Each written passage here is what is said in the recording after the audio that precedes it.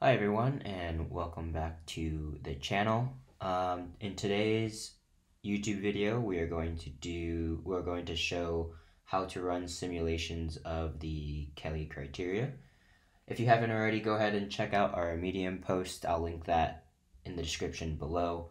But this will just be going over the very basic Kelly criterion modeling that we have up top in the article.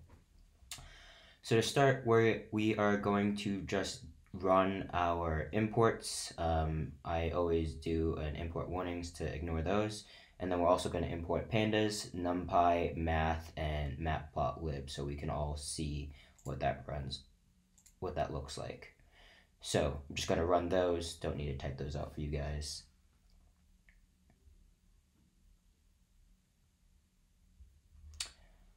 All right.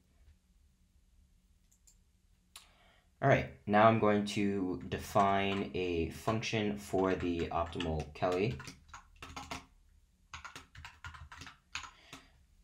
Now, the optimal Kelly is going to be the probability of a win minus the probability of a loss divided by the odds or payout.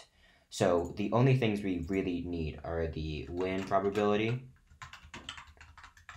and the payoff ratio.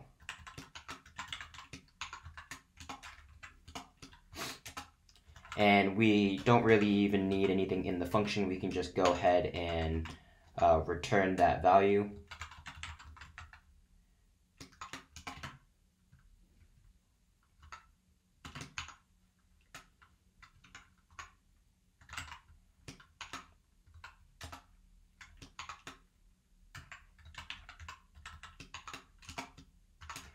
And then I just want to make sure that this portion is by itself. Make sure that runs. Okay. Um, to test that code, we are just going, I'm just using a separate notebook here. I'll use the second one over here to kind of describe the formulas and, and what they're doing. So uh, I'll just copy this code over real quick and give you a look at what that code looks like before implementing it further. Just select run all.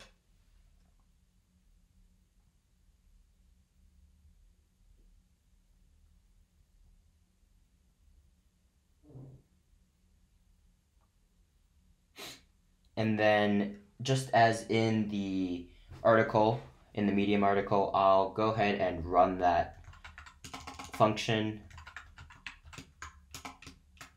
with the exact parameter, with the exact uh, example we used in the article. So I said 70% chance win probability with 6 to 5 odds.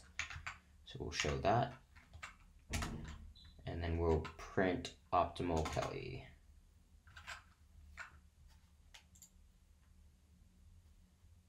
0.45, which is what we exactly what we wanted. Uh, this is just due to some rounding issues. So we can see that this function is working, and now we'll build some simulations out of it and show what the results might look like compared to a continuous betting scheme.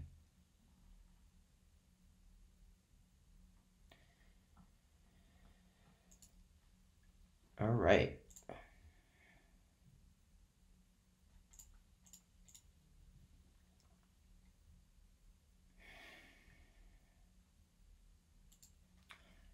Okay, let's build a simulation. And for this, we are going to use a matrix, a, NumPy matrix that goes through a number of steps and can take in sims and starting capital. So to start, we are going to set up our matrix that captures the capital over time. So we'll start with numpy zeros for the number of sims and the number of steps. And then we are going to fill that array with zeros. And then going to make the first step in those simulations equal to our capital. In order to show what that might look like, I'm just going to run that code here. So I'm going to use some numbers that we use as, as the first simulation, but just to show you what these NumPy arrays make, I wanted to run that here. So the first one is going to be two simulations, each with 50 steps.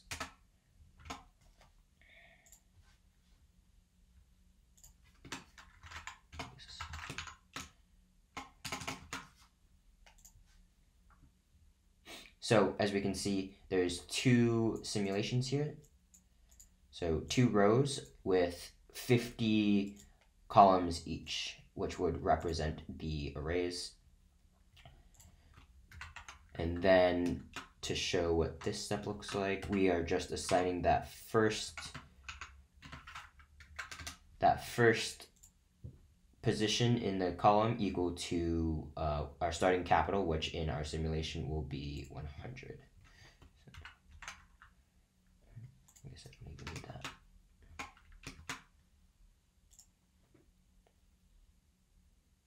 So as you can see here, in both those simulations, we start with 100. Continuing on in our simulation build, we are now going to make a binomial distribution that can simulate our our uh, trials binomial. And for this we want it to take in the size of the array the probability and, and then the size that the array makes. Sorry to clarify this one is the number of um, the number of trials and then we want the array to come out looking exactly like our the size of this zero array. Why is this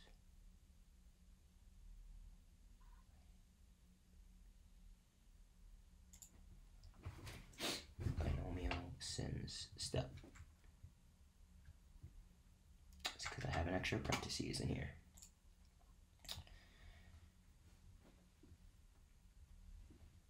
Okay, and then we are finally going to change where the wins and losses are coming from this binomial distribution. We are going to change that to equal what would happen in our capital. So if the binomial is greater than 0, we're going to change it to 1 plus f, which would be our win, and if it's not, we're going to change it to 1 minus f, which would be our loss. So to show what that would look like, I'm going to make that over here as well. 1, and then in our first simulation, like I said, we're going to use those. So the wins will be 0.6, and the size, again, from up here is going to be 250.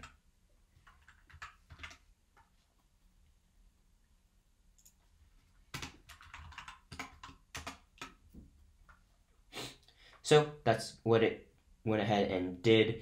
It went ahead and did the binomial distribution with a 0.6% chance win rate and filled out an array of what wins and losses would look like. So 1 would indicate a win and 0 would indicate a loss.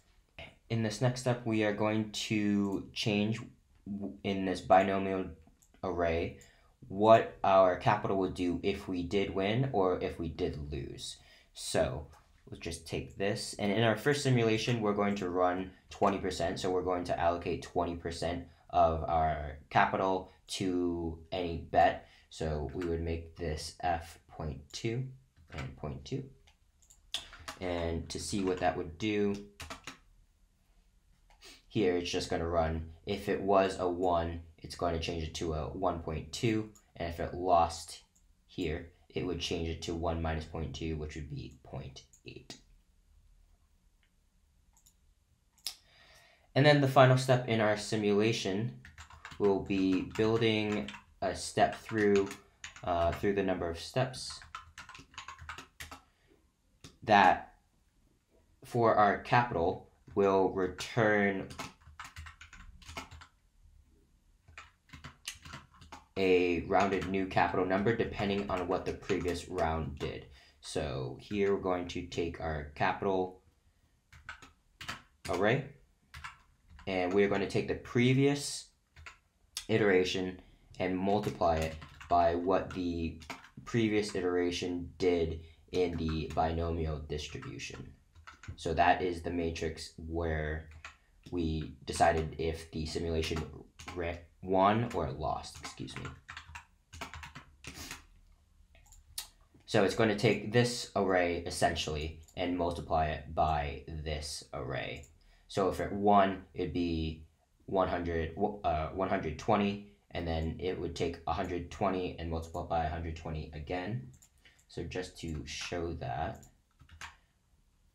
uh, in range of 50 steps, we'll go ahead and run that and then print s. Excuse me. So the first one, it starts up here at 100 and then hits 100 and then it multiplies by 1.2, which is 120. And then since it wins again, it multiplies 120 times 1.2, which is 1. Point, or sorry, 144. The next instance it loses, so it will take this 144 and multiply it by 0.8 and it gets 115 and so on and so forth. So it ran that simulation twice. So in one instance, as you can see here, we end up with $348 and in the second instance, it lost a little bit more. So it ended up at 148.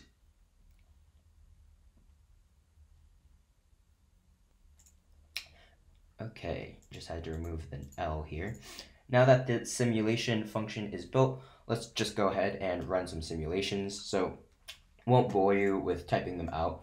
Basically what I ran in the article is I just ran a bunch of simulations going over with the same parameters with the difference being what the uh, what the bet sizing was. So for this first one, you know, I made the bet sizing 0.2, it made a 0.5, a 0.75, and then for the last one, I did whatever the optimal Kelly was. So I just took this function and plugged it into this first one because that's what Kelly says we should be betting. Again, as with this, with what I presented over here, I used a 0.6 win rate. We have 50 steps. For each of these, for simulations, I'm running two simulations, and then for the Kelly, I ran four. And for all of them, to make it fair, we are starting with $100 capital. So just run that. Excuse me.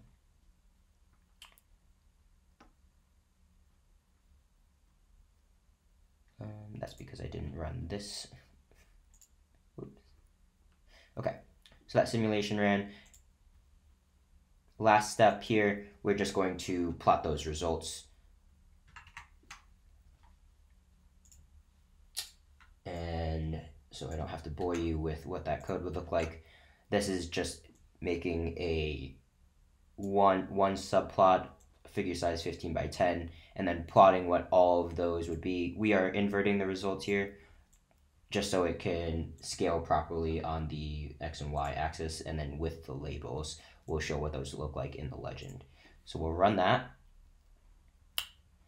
and there we go. We can see that most of them lost only that Kelly ended up winning uh, a pretty large amount on their bankroll. So you know, it's this is going to run different every time uh, because each time the simulation runs, the binomial distribution is going to pop out different results. So we could run this again and this again. And we can see, again, we have different results. Uh, the Kelly did best here. And we can just run it one more time. And as you can see, it was all over the place. Uh, Kelly ended up winning here again, with most of them uh, staying around between zero and uh, looks like about $500. So, this is a short tutorial on how the Kelly criterion function would look and a simulation of, of different bet sizings would look against the Kelly. In the next video, we'll go over a pretty in-depth view of how you can use this to build a trading strategy and what that would look like when trading the SPY against the historical data. So thanks for joining. Uh, be sure to subscribe, like, comment if you have any questions, and head over to our Medium if you would like to read an in-depth analysis of what that looks like. Thank you.